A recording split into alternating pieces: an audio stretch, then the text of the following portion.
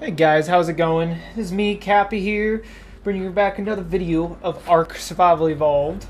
First one I've done in a while. So today I'm going to be doing the Alpha Dragon on single player with single player settings. Um, as you can see here, my Therizinos are at 40,000 health, around, uh, I'd say about 1,000 uh, melee damage. And uh, some, most of them have about 80 armor saddles, and I'm going down here right now to go grab me uh, a drink. Uh, but nothing else too important about this video. I'm going to shut for the rest of the video. But thank you guys for watching. Um, I hope you guys enjoy this kind of content. And to help you guys out uh, any further, I, you know, directly can't find anybody who does videos for ARK bosses. But those are the stats I use, and hopefully I'll help you out for beating the Alpha Dragon. So anyways, guys, thank you for watching, and have a good day.